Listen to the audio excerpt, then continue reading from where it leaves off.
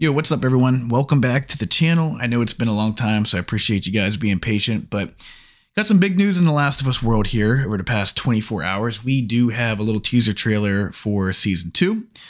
Uh, it's not very long. It came out, I think, last night before House of the Dragon. I always skip that stuff. Um, but it, I guess it came out before that with all the other stuff that's coming up soon uh, and what's coming in 2025. So I guess we got about 30 seconds of Last of Us Season 2. Let's take a look at it. I'll just run it through without stopping the first time. And then we'll go back through it again and I'll pause at each little section and maybe we'll try to speculate about what we're seeing. Let's go. Did you hurt her? Then what? What did you do?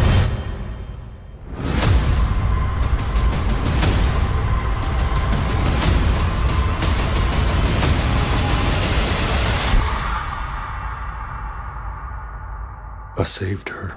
Oh, shit. Uh oh. Wow. Um, that was pretty good. I saved. Didn't go back far enough.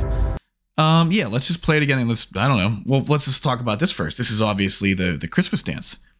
Uh, and I saw I saw like the set for it. I think I, I can't remember. It was on social media, but the little barn scene here with the lights coming down, the Christmas section. Uh, actually, in The Last of Us Part Two, if you didn't go and get that, um, that little addition there for remastered, where you can go through and play the lost levels. There's a really good part here about the Christmas dance uh, at Jackson that we see at the very beginning of the game. Um, I wish we got more Jackson. Jackson was awesome. We did not spend enough time there, sadly. Um, they did a great job making that into a community. It'd be cool to see what they make with uh, Jackson here um, on the show. But yeah, Ellie even got the hair tied back in the in the knot. They even got that down from the game. But yeah, Did you hurt her? did you hurt her? Clearly talking to Joel. Oh, we got the Ellie tattoo and the scar it's covering. I wonder if I wonder if anyone in real life ever got that tattoo. I don't know. Be pretty cool. Uh, let's see. Then what? What did you do? Okay, that's Catherine O'Hara. And I knew she was cast in this season, but apparently it's a big mystery role. No one knows what she's playing. Even if I just recently just went and looked up her role and it says uh it doesn't say a name. So I don't I don't know. I don't know if she's gonna be here. She's clearly talking to Joel. She almost Okay, we'll go through the rest of it. Okay, so I'm trying to figure out what this part is. Um I mean, naturally, my first thought is it's it's Ellie at the hospital at the end of season one. Um, I don't know. Maybe it's a flashback. Maybe it's a nightmare she's having. But yeah, that doesn't happen again. So I, I don't know what this one is. Again, it's obviously an edited trailer, so you have to keep that in mind. They can make this look like whatever they want it to look like. I highly doubt it, but could this be like some elaborated part of day one whenever they're just outside the school when the bomb goes off and Dina and Ellie get separated for a moment? Could this be like some like little side quest version of that? Some little, you know, fluff that they gave it for the TV show? Maybe. I, I again I, I doubt it. This is probably just gonna be some kind of a flashback to St. Mary's Hospital. Okay. Eh, again, I don't know why I instantly first thought like I thought that it looks like the infected storming the you know log cabin there in the middle of the woods, the chalet, whatever the fancy word is for that house. Um, that's that's what that looked like for a second, but those are clearly towers up there. Again, that is just like a big log cabin. It doesn't have those kind of towers. So those people are charging Jackson, or they're infected. Let's go back and try to take a look at that a little bit closer. I don't know why like regular people would be storming the the Capitol there like. That, that has to be infected. It's like it's stupid to even ask that question. Like it's clearly not the WLF. Oh, Seraphites, right? Clearly Seraphites. Rhetorical question. Rhetorical. There we go.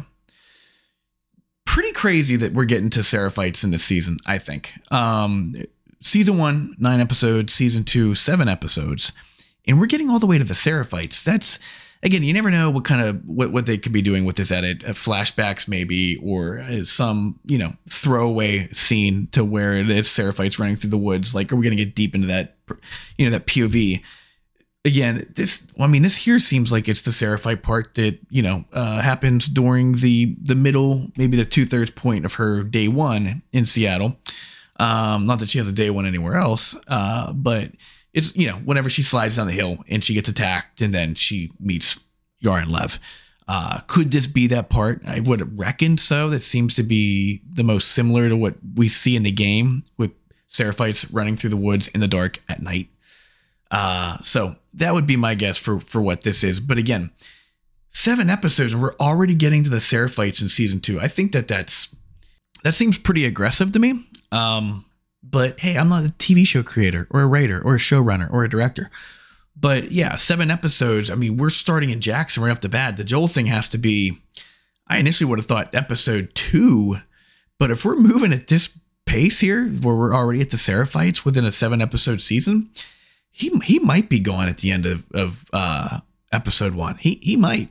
It's it's possible.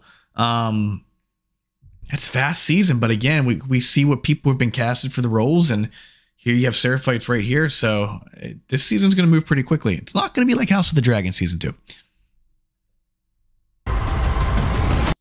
Okay. Well, Dina, Ellie shooting a gun.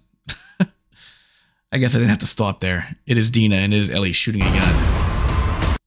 And I, you know, reckon Abby, Owen, patrolling the mountain there before everybody wakes up, just so that Owen can show Abby how fortified Jackson is, and that's where the two split. Jeffrey Wright.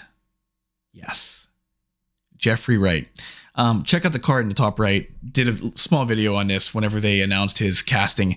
Jeffrey Wright provided the motion capture and the voice for The Last of Us Part 1. So his character is getting a complete replica playing him in the show here because like I said, it's it's the same guy that, that does everything for the character in the video game. Very good because Jeffrey Wright is a tremendous actor. So an HBO alum, uh, Westworld, Boardwalk Empire, some of my favorites. I've only seen season one of Westworld though, so let me backtrack there. But Boardwalk Empire is a great uh, Jeffrey Wright in this here. Obviously, we're playing Isaac again. We're getting pretty again for seven episodes. We're we're meeting Isaac. You again, you don't do that until Abby's day one when they make the switch over from uh, after Ellie's day three to Abby's day one. You don't again, you don't meet him till then. So uh, this their stories are clearly going to run parallel. We're not going to go all the way through Ellie's three days in Seattle and then switch it over to Abby's three days in Seattle. And we get just to the end of her day one before episode seven hits. They're going to show a parallel story. Abby under the fence. Iconic scene, the horde uh, in Jackson. Not long after we see that little landscape there on top of the mountains, shortly after she uh, separates from Owen. Um, this is a absolute heart pounder. Um, this is a pants shitting moment without without question. I remember the first time I actually I played this. First time I played the game, I uh, you just you know you take back control. You're switching back between Ellie and Abby. You go to Abby and you start walking. You start seeing all these bodies move through the trees, and it's quite clear that there are a shit ton of runners there. And I thought at first that you had to kill them all, right? I didn't know that this was going to be some big run sequence. So the first time I played it, and I found out very quickly that these uh, these runners weren't going away. Um, I realized that you know I was screwed. And clearly there was another path to take.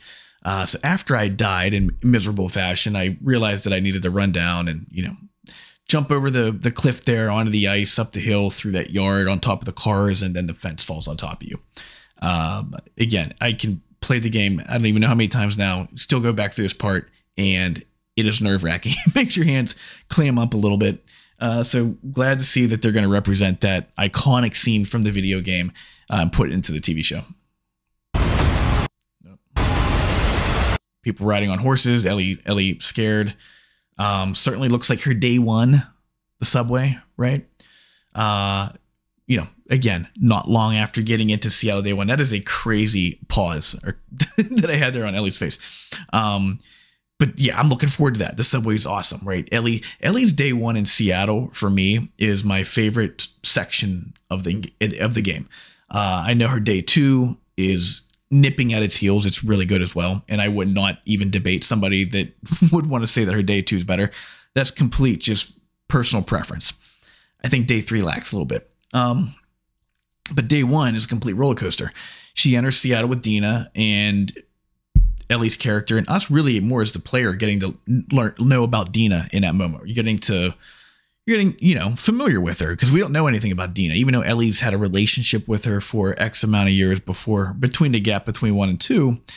Um, we don't know anything about Dina. So you get to get that nice, like, slow little ride into Seattle and you get to hear the two talk about stories, you know, where they came from in their past, um, et cetera, et cetera. So you move on from there. The vibe starts to pick up. You think the WLF are lurking around every single corner, and they really aren't for a while. Like they really just rope you in because, again, every building you go into, every action sequence, you think that the WLF are going to come out, and then they don't. And then you go all the way through downtown Seattle and explore it. And you go through the Saravina, and you definitely think they're in the Saravina not there. And then just when you think you're good, you know, shit goes shit goes south. And then it's just a roller coaster ride all the way from the school onto the TV station and then into the subway for a roller coaster ride finish up to the movie theater. Um, looks like they were in a subway here, this part, which will be terrifying, absolutely terrifying. Yeah, clicker. Um, sure, this could be there. I saved her. Oof. And that looks like who Joe was talking to. Um, the Catherine O'Hara character looks like she's playing some kind of Jackson therapist. Maybe, maybe that's maybe that's her role. That'll be her IMDb credit, Jackson therapist. Um, I would imagine it'll be a little bit more than that. She's kind of a noteworthy actress, but you've seen some of those, you know, pop up in the first couple seasons. Really noteworthy people come in just to play a small little part, or maybe just a part just in one episode. Um, the vibe that I got with the Joel conversation there I saved her. You know, that very reminiscent of the opening scene to The Last of Us Part 2 between Joel and Tommy in that little cabin just outside Jackson. Um, where Joel tells Tommy, seemingly not long after they get back from Salt Lake, what happened. Um, and that's just that's kind of what that part seemed like. So maybe he doesn't have that conversation with Tommy in the uh in season two here. Maybe it is with this new created character. Um, that's very possible, but cool little teaser. They're coming along pretty quickly. I feel like they've, again, I know it'll end up by the time it comes out being two years since season one came out.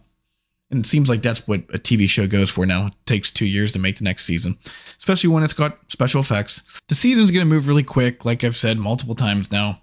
You already knew that whenever it, it was set up for a seven episode season, which I don't love. I mean, we're just literally coming off the heels of House of the Dragon doing an eight episode season when they did 10 the first.